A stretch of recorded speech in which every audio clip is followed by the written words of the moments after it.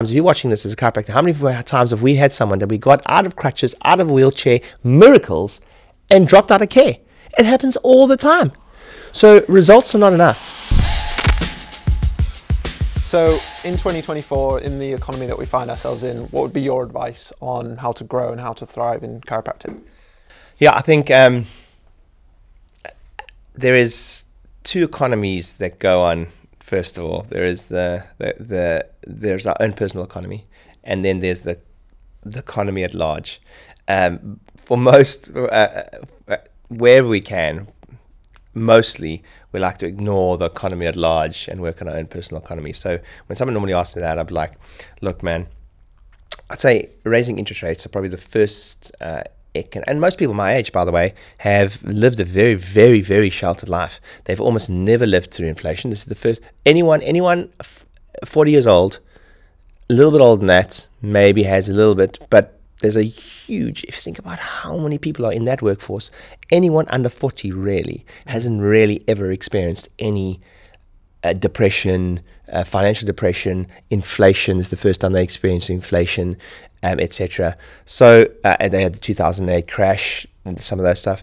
Um, uh, all I can tell you is that every single business I've ever been, been involved in, including uh, bricks and mortar, chiropractic businesses, consulting, and agency business, grew during economic crises. So, so there's a couple of things. I think that's got a lot to do with the industry I'm in, being in in chiropractic and in consulting and help. It's the same industry, really. Through economic difficulties at large, um, people need more help. So so I we have no, we know. I mean, if you had to be a fly on the wall across my inner circle group post COVID, you've never seen so many records in your life. It was unbelievable. I've never seen anything like it. Why? Because in that economic crisis, we had this like pent up demand of, for lack of a better way of describing it, human interaction and people being touched. You know, one of our guest speakers at our masterminds was Sarah Willingham, who was on Dragon's Den, um, and we had an a- excellent discussion with her. And she, gen- counterintuitive, intuitively, she opened up um, or went and acquired as many bars and um, like it's called Nightcap a business and you can check it it's excellent and I think that's 70 80 million within a short period of time and counterintuitive because there's a couple of things happen in the market. Whenever there is a, a, a, downturn in the market, there's always an opportunity. So, for example, rentals uh, were very favorable for her to go pick up some really good rentals. And the other thing was, there's just this unbelievable pent up demand. Human beings are, are, are social by nature, mm. which is chiropractic is just this unbelievable. We have this unbelievable blessing in a time of AI and all that conversation where we will never be replaced. There, nothing could ever replace uh, people there's a craving in human and a human being to be touched. And we play in this beautiful realm whether it's metaphysical whatever you want to call it where it's like there's something magical about that interaction of someone jumping on your table during a stressful day and a hard time and they're going to need that. And then without them even understanding it like you know, why do people engage in exercise sometimes not even fully understanding why is because there's an endorphin rush and they feel better than they did when they didn't do it. And there's a real thing called runner's high and, and, um, and uh, I mean, I don't, I don't eat breakfast. I have a green juice every single morning, so essentially intermittent fasting. And if I actually, when I break it down, is I can just feel excellent when I do it. And just intuitively you'll see people being gravitating in times of stress towards things like chiropractic that boost endorphins, that boost immune system, that boost health, that are are, less down a, a, negative path. So that's the first thing. You've got nothing to worry about. You're perfectly well placed. Every business I've ever, ever, ever owned has only has only done excellent things during economic crises. The next thing I'd say is that doesn't mean that there aren't certain things that we have to acknowledge if I had to give you some predictions, one, I think I think quality of lead could be affected, uh, or cost per lead could could be affected. I definitely think there's going to be more because there's going to be more shopping around. So typically with with these times, that that means that you can't play the game that that means even more that you need to be aware of your pricing strategy. That means even more that you need to be aware that having like things like your pricing on your website is negatively affecting you. Because if the marketplace is shopping around a little bit more, and you're in the marketplace, whether you like it or not, we understand the whole thing of your personal economy has got very little to do with the external economy, how you think about it. But the fact is, you still have to understand that you're in the game. So you'd be um, you'd be very naive not to understand that. For example, in a time where people are shopping around more, if you still insist of having your prices on your website, then you cannot cry when people when you are the victim of people shopping around. Let me give you an example. There is nothing good that can possibly come from having your price on your website. And I know someone's watching this now and they're like, why? Here's only one of two things that can possibly happen. There is a group of people that are going to be choosing to use you because you are reassuringly expensive. So let's say the prices on your website are reassuringly expensive. Specifically, director drivers, uh, slightly more financial pe- uh, financially well-off people, uh, or let's call them the affluent. If we want to talk about the psychology of marketing to the affluent, they like to spend on things that are reassuringly expensive. So let me give you an example because most people have this experience, right? So you Google some, or you go on Amazon and you search for something. Let's call it a pen a standard thing for the office. And there's like 27 different options there. And Amazon normally gives you, um, you know, the the preferred option or the most popular option, etc., or the cheapest option. You almost never go for the cheapest option. You look at the cheapest option, you go, I'm going to go one above the cheapest option because you're like, well, that must it, it must be poor quality. So so so that also happens if you have cheap. If you're the cheapest in the area. I think especially with healthcare because you're in charge of looking after their most valuable asset, which is their health. I know if I was in, in the in the market for a parachute, I wouldn't be going for the cheapest parachute. Dude, who wants to go to the cheapest dentist? Mm. Freaking nobody. So, like, if you're the cheapest in the area, you should be freaking out and you should get that stuff off your website as quickly as possible because there's a group of people, they're going to choose you because you're the cheapest. Do you really want to work with them? Firstly. Secondly, there's going to be a group of people that will specifically choose you, not choose you, Avoid you yeah. because you're the cheapest. Like the Amazon thing, you're like, there's no freaking way I'm seeing that guy. He's the cheapest. And you think that having the cheapest price, and uh, uh, uh, this is what every chiropractor does. Hey, doc, what should my price be? I've looked at other docs and they're all charging this. It's irrelevant what other docs are charging. My advice for you is this: if you really insist of having a web, if you do really insist of having your prices on your website, then by by country mile, you need to be just about the most expensive. That's that's it's essential. Mm. Okay, um, if you look at most marketplaces, they're very polarized. You cannot be you. Okay, you don't want to be. You, you either go for if you look at the gym gym industry, that marketplace is very polarized. You're either the cheapest, cheapest, cheapest. They have options. There's no saunas. There's no sh- there's showers, but no saunas, no pools, no steam rooms. There is basically no staff. It's 24 hours. It's a turnstile. Very popular in London. Pure Gym, things like that. They've polarized the market. They've come in at like 20, 20 pounds a month type thing. Okay, and then you have your gyms that sit in the middle, which are not either. They're not low cost and they're not high end right? They kind of cater for everyone. And then you have your gyms, high end, which are like 100, 150 pounds a month. The gyms that are going under are the ones that are in the middle. Mm. So the ones that are not polarizing the market, they're not like, I, am going for you for the cheapest, or I'm going for the most expensive. But the ones that are like 45 pounds a month or something like that, those are the ones that are really struggling because they're not anything to anyone. So if you're going to put your prices on your website, at least be, don't be in the middle. Mm. I'm going to say there's no benefit for you putting your prices on your website if you're a chiropractor. Because what I rather want, I don't want to play into the, I don't want to be a glorified version of a chiropractic Amazon where they're going, who, which I'm going to use. I'm going to search this. I'm going to search who's the most, who's the cheapest. I want them to come to your website and all it says there is cost inquiry. So the price, I'm like, wow, like no, no price. No, if you want to, if you want to find out how much it costs, click on a button, put your details in here, and then guess what? We have their details.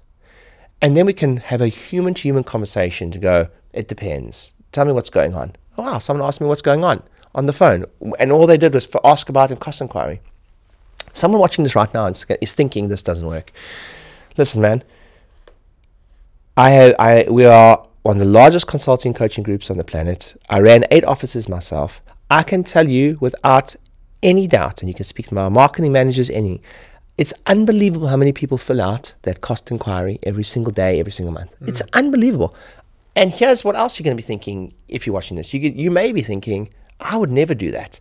And guess what? I would never do that. But that's not, you're not the customer. The fact is that people do it all the freaking time. Is they put cost inquiry. Do you know how many people, I, do you know people have messaged me about this one tip? It's like, Doc, I can't believe how many people are filling out the cost inquiry on the website. I took my prices on my website. But I just want you, I just anyone watching this right now, that's the first thing is how to succeed in 2024. Be acutely aware of the marketplace and 2024 election year, wherever you are in the but United Kingdom or or, or the US, it's gonna be carnage, hmm. right? Carnage. So so be aware of that too. People might be hold might be. It's not that people in the in the absence of value, price is the only consideration. So it's not that people spend less. It's that you need to just be a little bit better at being aware of the psychology around getting some a customer to part with their money. If the pain, the pain of doing something, i.e., giving you money, paying something the credit card, taking cash and giving it to you, has to be the pain of doing nothing has to be more than the pain of doing pain of doing something. If they're going, oh, it's kind of touch and go, it's quite painful to give across two thousand dollars. Um, I think I can live with this pain. You're not going to make the sale or the conversion or whatever you want to call it. So your the psychology of of sales, sales psychology persuasion. I would read Robert Cialdini's book, Persuasion. I think that's incredibly important right now. I think um, your front desk knowing that when people phone, uh, that it requires it requires more of everything. It requires more uh, intellectual awareness. Uh, people are watching their, their their dollars at the moment, so the front desk needs to ask more questions. Be to me needs to be more empathetic. Needs to say things like, uh, "What do you just so I make sure you're with the right person? Um, I want uh, uh, what are you struggling with?" And the person's going to talk, and then there's rapport building. And then when they say this on the phone, they say, that's also uh, so you have sciatica. Great. I'm going to put you with uh, Dr. Ben. He specializes in that. Statistics have shown conversions go up based on that. So you did nothing really but have a conversation. You never, you never got personally as a chiropractor. You never got better at selling. You never, but as a team, you got better at the intellectual awareness that the marketplace is a bit fearful of spending right now. So as a team, you have to come to the party, and it kind of segues nicely into referrals. So one is pricing. The next is when when times get tough, you go deeper on your existing customers. Mm. And that kind of also means you you work harder to get referrals and you work harder to keep customers. How do you work harder to get referrals and how do you keep customers? Because the most expensive way to to grow to grow business is to get brand, brand, brand new deal flow or business. The best way to grow a business is to go is to have longer relationships with customers and and serve them longer and also generate more referrals. Those two things people think happen uh, as a, a happenstance, if you will, but that is the biggest mistake that you can make in business. Is is, is you think the word entitlement comes through. Uh, one of my teachers always taught me that whenever the, the the theme of entitlement comes into any of those two, you're in big trouble. Entitlement from this perspective. One, I helped Mary get out of a wheelchair. Surely she's going to listen to my recommendations slash come for regular care because look what the alternative is. Wrong. Wrong. That is you assuming that that is that is a that is a wrong assumption. And how many times, if you're watching this as a chiropractor, how many times have we had someone that we got out of crutches, out of a wheelchair, miracles, and dropped out of care? It happens all the time. So results are not enough. Results are not enough. Write that down. results are not enough. There is no ways that you can. So that entitlement of I've done this for the customer. Well, you haven't done anything for the customer. You haven't done them a favor. They paid for that. that was what you paid for do. Now you have to work to keep them.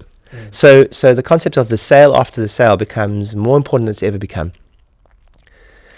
The sale after the sale is they're committed to a care plan, and now the education or the uh, the process of getting customer to understand the importance of regular care, the cadence of regular care, how important, how how bad it is when they miss an appointment, how important it is for to bring their family in. That only starts now. It only starts the sale after sale. Once you've sold the care plan, that's the beginning of the relationship. the beginning of the retention relationship. So the first thing is to understand the sale after sale becomes paramount now. The other thing it, that becomes paramount now is a is a purposeful, planned, known by the whole team strategy to stimulate and uh, stimulate referrals. So referrals uh, happen in many in many ways, but there's a couple of things I run through for referrals. Number one is uh, you, there's no place for any room for entitlement. If you think that someone deserves you sh- because you gave them great results, they should send someone to you. You're in big trouble. Never gonna happen. Number two, I think that lack of referrals started a long hard look, look in the mirror. There's an excellent book called Purpose Driven Church okay, by Rick Warren. Now, he essentially was a coach or consultant for uh, churches to become super churches, and his book is required marketing reading for anyone who actually wants to learn the arts of marketing. Um, this advice given to me by probably the most famous marketer, Dan Kennedy. And he's like, you have to read the book. Read the book from cover to cover. His exact instructions were read the book from cover to cover and then start again and read from cover to cover because it's the whole book is an absolute um, study on human psychology and relationships, actually, and how it all works. Um, and he says that in a in a in a in, in that environment, if if people aren't referring people to you, a long hard look in the mirror is required. And I think that's excellent advice. I think it's excellent advice. It does not mean that this. It does not mean that the service always is bad. It doesn't mean it does or doesn't mean that the results are bad. But a long hard look in the mirror is required.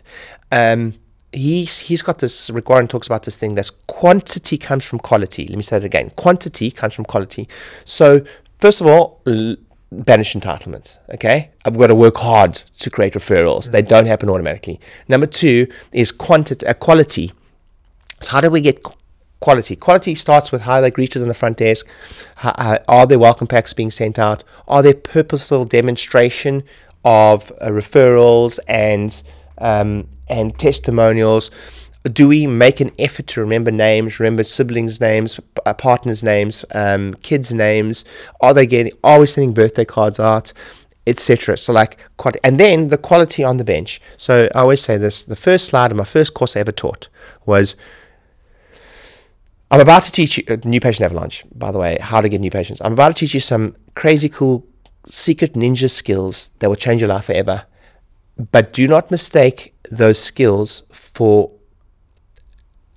a, a, a, replacement of the product, which is the adjustment on the table. So, so if you if you haven't been to an adjustment course, if you haven't been to sharpen your sword or or axe, as they say, in a while, it might be a good place to start. You know, go out there because you know what happens. You know what? Nothing changes. I'm telling you now, the thing with an adjustment course or engaging or actively engaging in the process of getting better at your art on the table has got very little to do with the change that happens on the table. It's got everything to do with your confidence. And people can feel it.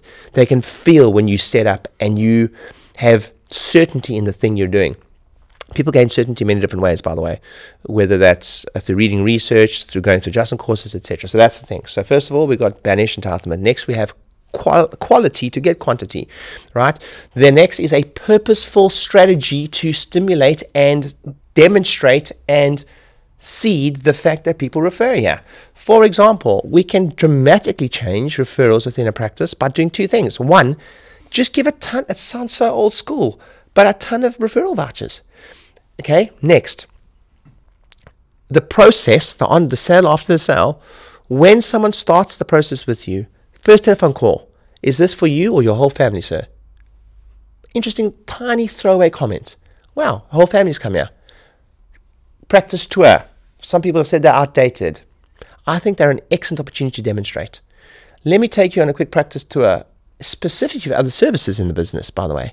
So, as I just want to show you, this is our family board. Family board, interesting. Oh, there's a whole bunch of babies on here. Why would a baby get need to get adjusted? And that is called an opportunity. That's an that's an it's an educational opportunity. Here's why babies get adjusted. That means immediately we've changed the perspective of the prospect or customer or patient that hey, I could refer my niece, my nephew, my cousin who's had a baby, or recently I've had a baby. Wow, I didn't know that. That's great. And then a throwaway comment that happens after that, which is purposeful and planned and scripted, is uh, yeah, actually, we have a policy here that um, we believe that it's no good you being the only person in your family that's healing and unsubluxated and the rest of your family being subluxated. So we check, we have a policy here that we check all family members, immediate family members, for free within the first month. So we've given them a voucher and we've given them, whether it's 50% off, 75% off, because that's your best customer, guys. Like, who mm. cares if it's 75? We don't care about the upfront fee, right? So some people are like, oh, I must charge something. Fine, charge something. But if you if you're struggling with referrals, why would you put any other barrier when you know that the highest the, the, eh, when when there's when if a whole family is under care, families grow practices. Fa- let me say it again: families grow practices. So you can take bits and pieces from this. So the first part is it starts on the phone already with the C's for your whole family. Then we have uh, a family board. Wow, actually family board. Then we have uh, a comments like, oh yeah, we, that's why we check whole, which we have in the first month of care, and we check the whole family for free. Wow, interesting, fine. That might happen better after they've committed to care, um, but it might come up in a conversation. The next is part of a demonstration. A demonstration for referrals is essential. So they walk into the practice. Think how many seeds. Think how many throwaway things I've just mentioned. They walk into the practice, and there is um, there's a board that says thank you for referring, and there's 13 names on there. Wow, people refer here. That's interesting. And then they walk, they on the tour they walk down and they're shown the board. These are all little things for attention as well. he has a board of our hundred club. This is everyone who's had over hundred adjustments, or our five year club, or our three year club, or whatever you want to call it. Like these are our people or our well being members, or whatever you want to call it. These are demonstration that people come here and they stay here. Wow, that's interesting. Why would someone need 100 adjustments? Why would someone need um, um, to, to come to chiropractic care for one year? That, again, is an opportunity. It's an education opportunity because the objection is already there. So you better address it. Mm. So it's like, awesome, let's address that. Because typically what happens is, and then CA might have their script, and or they might be able to go. You know, Dr. Ryan's going to go through it with you in the in the examination. Uh, but the point is that what we specialize in yeah, is not only helping people get out of pain, but keep them out of pain. And that, like going to the gym regularly, like getting your brushing your teeth regularly, or whatever it is, there is some type of maintenance required to keep anything in good in good in good order. And these particular patients value it and they're our longest standing and our best results. So we haven't even seen the patient yet. And we have referral seeds and we have retention seeds. Also in the in the welcome pack as well that they receive Great point. So, so we, if we're sending a, a, welcome point to something in the post prior to them coming in, we want to demonstrate again great results that increase retention and that increase conversions. Um, and then when we're talking about referral specifically, is there is one straight. We have one. We have one of our, our, our platinum and inner circle members, our, our, our, our one of our longest standing um, clients. They have grown their practice near over seven figures in dollars. So they have grown by over seven figures in dollars. So a million dollars a year they've grown the practice by, right? And we were having an intimate mastermind the other day and they were talking about how they get between 15 and 25 referrals every week. Let me say that again 15 to 25 referrals every week. And the rest of the group were somewhat flabbergasted by this. And they went to the strategy like, how are you getting 15 to 20 referrals to 25? Some weeks 30 referrals every single week. And there was a purposeful plan. There were referral vouchers. There was on the intake form, there was a tick box to go, would you like to bring your family here for a complimentary assessment? Tick box. That's that's an indication that the customer's open and and and to that particular uh, sale, if you will. And then the biggest thing that came from it was the aggressive nature of acknowledgement. So the single biggest thing you can do in your business now to stimulate referrals or anything in your business is acknowledge the behavior. So, there is this beautiful chapter uh, in a book I've recently read, and it it talks about how this meant this consultant or coach talks about how many times he's had the following conversation with somebody, and it goes something like this. I referred so and so to whatever business practice person, and I never got so much as a thank you. I never and and and the, and the story goes that when the person typically when the person's saying it, there's a high level of emotion. They they pissed off when they're saying it. They're like, I've referred. I know there's a chiropractor watching us right now, who's referred 10, 20 patients to a chiropractor down the road, or chiropractor in a different state, and they've never got so much as a thank you. And they have said out loud, that guy never even says, he never even acknowledges me. Yes, uh, like someone's watching this right now going, that's so true.